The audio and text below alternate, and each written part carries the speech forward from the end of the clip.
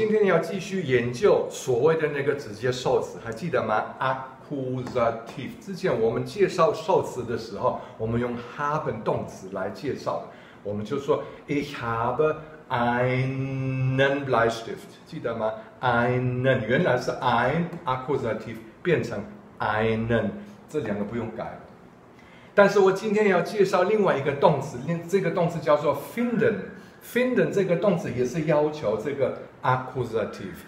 finden 就是觉得的意思，你觉得这个如何呢？We findest du？可是现在呢，我们要用到定冠词。你看，我问你，你有没有一支笔？有啊，我有一支笔。Hast du einen Stift？Ja，ich habe einen Stift。然后我问对方，你觉得这支笔如何呢？We findest du den Stift？我们在这个地方现在用到那个定冠词。Akkusativ der 变成 den，das 不用改，die 也不用了。Wie findest du den Stift？Ich finde den Stift。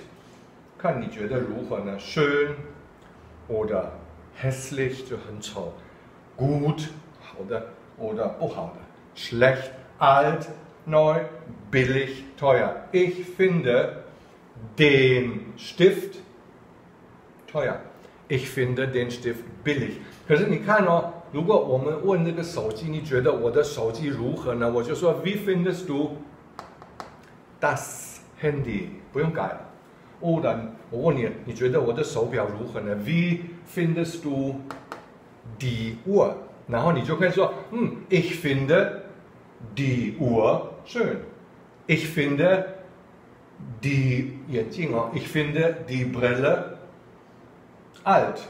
Ich finde das Handy schön. Ich finde den Kalender schön. 再一次哦，finden 觉得呢如何？Wie findest du？一定要加那个直接受词，然后尽量用到那个定冠词。Ich finde den Kalender schön。 就是这么简单。